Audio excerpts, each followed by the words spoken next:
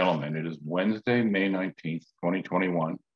Uh, I'm here today with Mike Konnert. He's the CEO of Vizsla Silver, VZLA on the venture, and I believe VIZSF on the QX.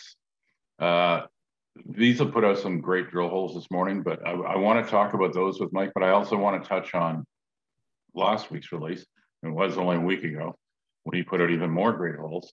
Uh, and these are from two veins that are close to each other. One is last week's was the Napoleon uh, vein corridor, and today's was the Tajitos vein corridor. But you know, in both cases, they're great holes. Um, you got eight drill rigs going. You want to just bring us up to date on Napoleon, and then and then maybe uh, and then we'll we'll kind of you know what's the big picture? How does all this stuff come together in terms of in terms of the company's plans and strategy going forward?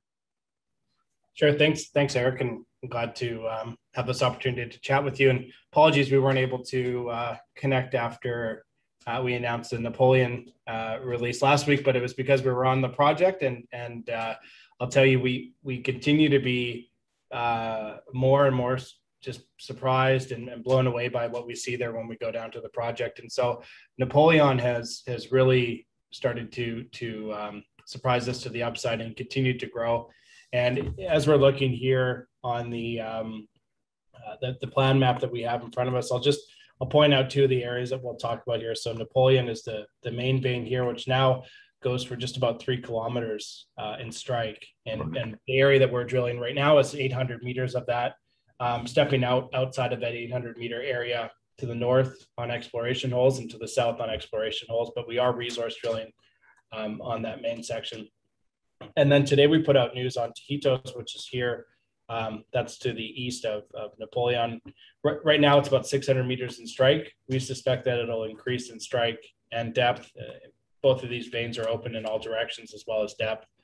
Um, and why the Napoleon info was so, uh, the Napoleon release was so important last week was because originally when we made our, our initial discovery um, last summer, that was hole two here and hole seven here. Um, those those were spectacular grades. Nine meters at 900 silver equivalent, and hole seven 5.3 at at just under 3,600 uh, grams silver equivalent. So spectacular grades. Now, as we step out uh, from those discovery holes, uh, we've been surprised to find out that this appears to be one large mineralized panel over this 800 meter strike. Um, so the most recent news that we put out was was this section here, this four four hole fence to the south, extending the mineralization. Uh, I believe was another 200 meters to the south. Also drilling our, our deepest hole uh, so far, over 300 meters in depth, uh, and great grades here. So um, hole 99, six six meters at 600 grams silver equivalent, and underneath that hole 102, uh, just under four meters of 300 silver equivalent. Worth pointing out as well uh, that the deepest hole in the, the, the kind of the center of the Napoleon area here was hole 54, just under two and a half meters at 1.9 kilograms silver equivalent. So great grades. Uh, and these are these aren't base metal grades; these are precious metal grades at depth, which is unique to this area uh, in the sense that typically you'd see your zonation into base metals at depth. At, at 300 plus meters at deep, we're getting some of the highest grade gold we've seen across the whole property. Uh, so yeah, I, I, think that bears repeating. I think it's quite it's quite important because this is this is in fact quite unusual. Um, even if you look at other project like great projects like you know like Las Chispas. I mean, I've followed uh, I've followed Silvercrest since it since they originally listed. Still do. You know, they've pulled tons of incredible holes. When you look at most of their sections, there's a pretty, or at least as far as I know right now, there's a fairly strict vertical zonation on that system. And that's normally how it is. And, you know, these low sulfidation epithermal systems, you don't generally expect to see more than maybe a couple hundred meters of, of real bonanza grades before it starts shifting, you know, into base metals and it becomes base metal dominant quite fast.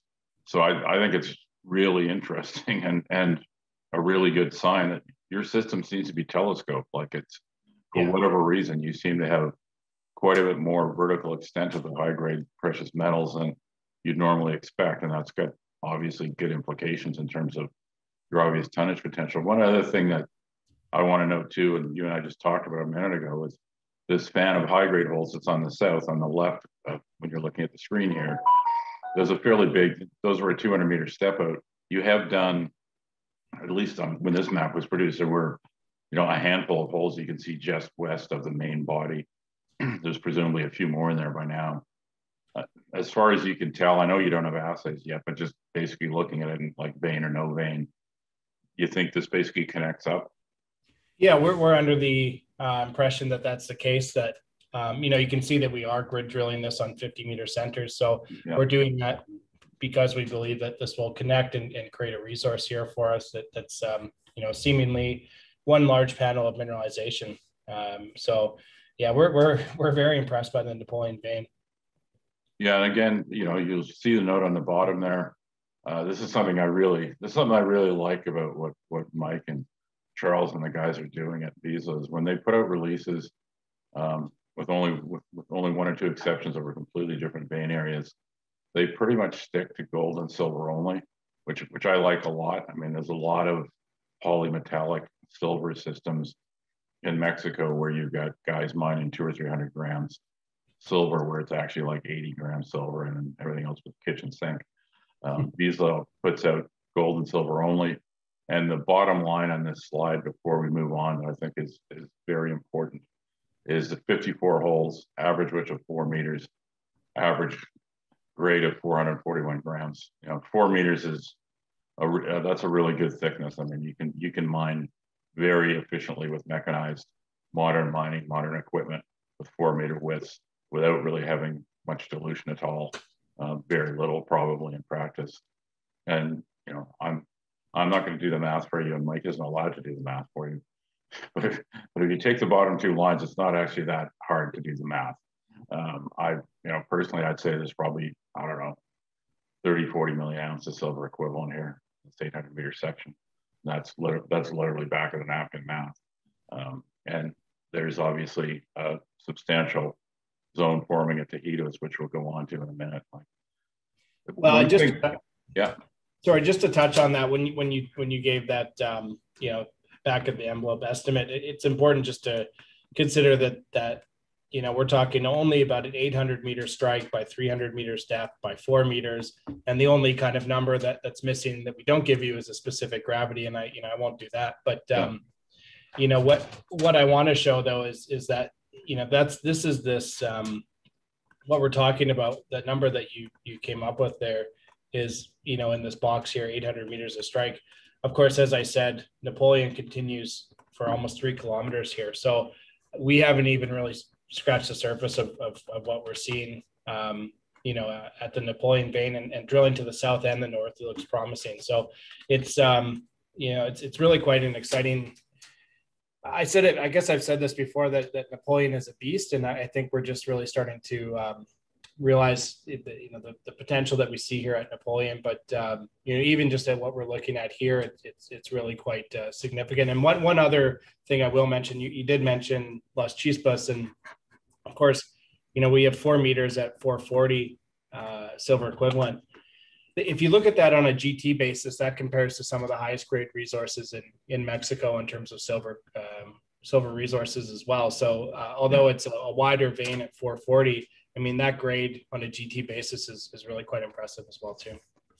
The other thing I think is actually potentially pretty exciting, and I don't I don't know how long you think it might take you to get there with the drills, but you know when when Mike was showing you the uh, the the plan map for the area, I, I find it interesting how, and then this was mentioned in today's release about Tajitos, how how the Tajitos vein, and the Napoleon vein, and maybe a couple of others should come together about 600 meters south of where they're drilling now. Yeah. There's no guarantees, and I don't I don't think they can see much of anything at surface, which is maybe a good thing because it means nobody else has gone after it.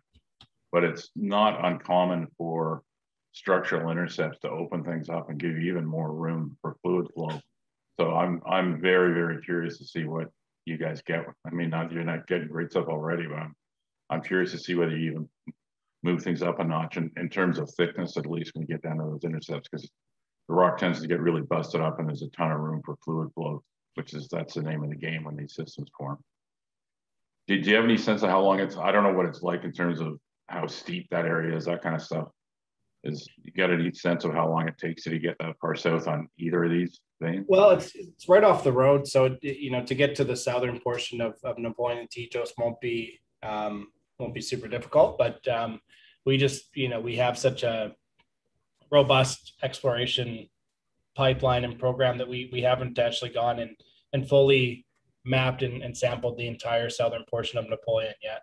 Um, right. But um, you know, it's something that we're working on right now. But of course, you know, with with four rigs on Napoleon and two on Tajitos and uh, two others across the district, um, you know, we're we're um, uh, we are working very very fast. But um, you know, it's it's uh, it's in the pipeline to go down and, and explore okay. that. I do. Why don't we move on? You can talk about the results you put up from Tajitos today. Sure.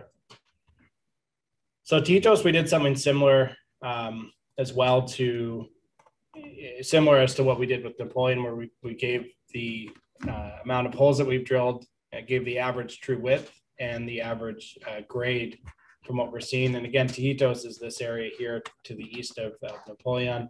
Um, we put 32 holes into this, um, and and we've um, announced an average width of three meters at ha- over half a kilo, 505 silver uh, equivalent grams uh, per time.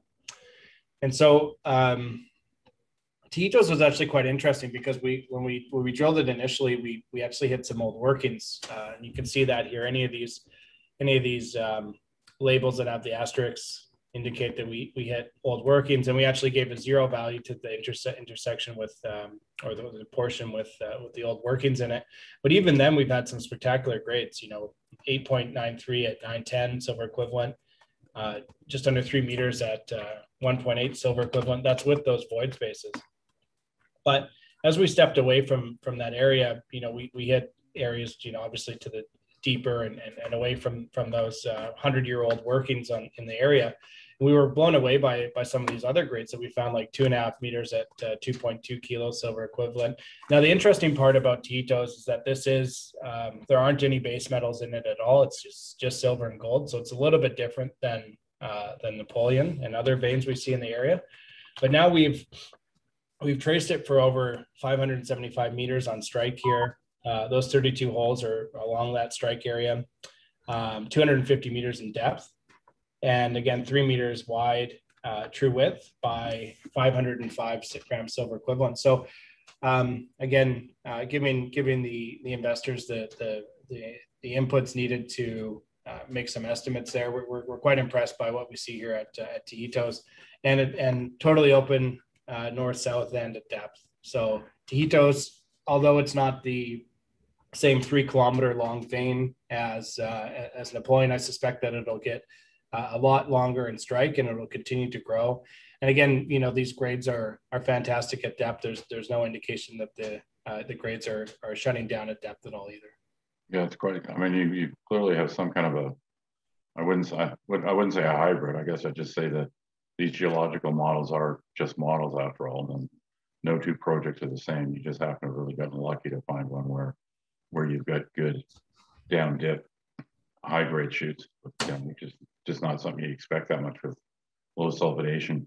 Um, again, Mike can't do the math, but I did. I told subscribers in the alert I sent out this morning that what they drilled so far here, you're probably looking 15, 20 million silver equivalent ounces. And again, it's wide open. Um, do you want to comment at all on where the other two rigs are, or is that just you just want to sure. stick to this stuff? Yeah, yeah. So again, four here on Napoleon, two on Tajitos, one here at um, uh, the the Cordon de Oro vein, and then one up here at Animas. And it's kind of interesting because Animas, you know, originally when we started, we were talking about drilling underneath some of those uh, those old workings and and right. uh, those old, old ore shoots there. So we've gone back and and you know, we we didn't give up on that because it didn't work. It, we we actually moved the rig over to Napoleon around this time last year because it seemed like a great target. So um, we're happy to say that you know our original theory of, of going underneath those old workings at um, at Animas is, is looks like it's starting to uh, pay off a little bit there, and, and it could be an interesting uh, opportunity as well. And when I talk to a lot of the the different groups and the old timers in the area, they they always say, you know, got to go deeper, got to go deeper. Um, you know, for for the old times mining, old timers mining in the district, they they they never stopped at depth because it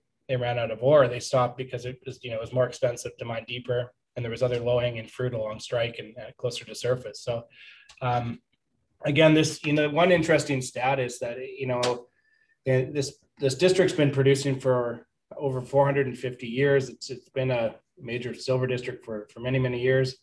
Um, until we got there, there was only ever 100 drill holes ever put into the, the entire district.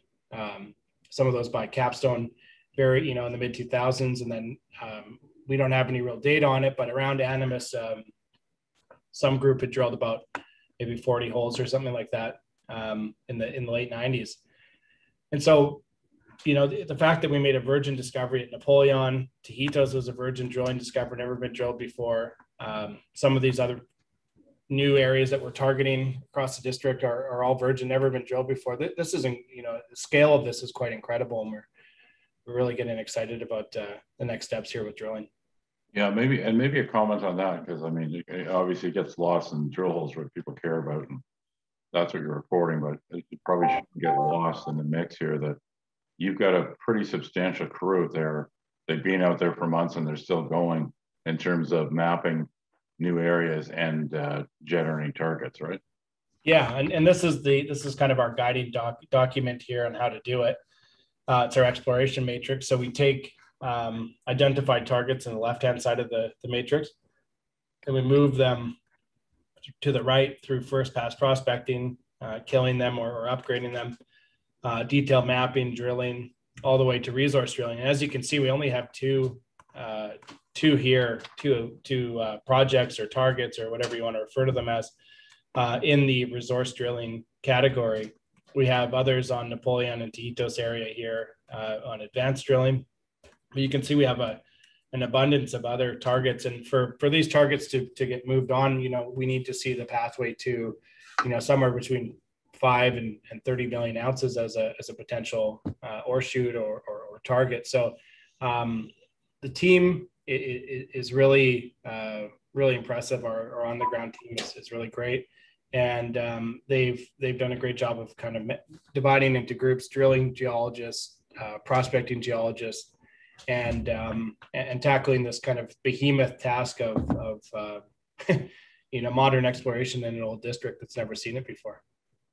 And just as as a general, before we before we close off here, um, you know, great great results. Um, the stock is trading, uh, you know, in response to them as it should. And, and there's obviously a really long way to go in terms of more good results and this thing getting a lot bigger. But you know, when when you guys first picked up Panuco, and it was I, I know at first there was, you know, a number of people, myself included, to be honest, had a bit of sticker shock at first. Although you know, I got over it once I sat down and kind of did some numbers in my head. But when you guys when you guys did the two deals for for Panuco Rio Panuco, what was the you know did you did you have a number in your head like we have to find this much for this number to make sense? Yeah, I think it was 30 million ounces. I think you're good. Okay. yeah, I think I think we're uh, I think we're okay. Yeah. Okay. So that's I, I imply from that that you're at least going to be having conversations with the with the vendors. Although I I note that there's no I know this is something that comes up because I get asked about a lot when you're going to pull the trigger. Um, there isn't actually any time pressure. People should be clear on that. There's actually quite a ways to run on both yeah. of these option agreements, but there's probably strategic reasons to do it earlier, but it's not like you have to. I mean, you've got actually tons of time to do it. But yeah, the bigger this thing, the bigger this thing looks, the more sense it makes it just get it over with, I suppose. Well, there's a few different reasons to to uh, on either side to you know wait or not wait, and and you know we have a an excellent board and and, and team that um, you know we spend time strategizing and and, and uh, discussing these things, and so uh, you know I'm confident we'll make the right decision yeah, no, I'm, I'm quite comfortable too. So I think that that covers it for today. Um, two sets of great holes from two different veins on the Panuco project. This thing is, you know, it's holding good grades. They keep finding new high grade shoots. Um, they're growing it quite rapidly and and maintaining a, a, high grade average, which is, you know, that's that's the whole thing. That's what we wanted to see from day one with this. I mean, that was really my my investment thesis for this from day one, and they're you know they've been hitting it out of the park so far. So Vizsla Resources, VZ, LA on the venture, VIZ, SF on the QX. Uh, great Silver Explorer. Uh, this this one, this one's this, this one's going to be a mine. It's already a mine for the vendors, but I'm pretty comfortable it's going to be a mine for Vizsla too. It's just a matter of getting the work done, which they which they're getting done fast with eight drill rigs. So, you know, congrats, Mike. Another great set of results.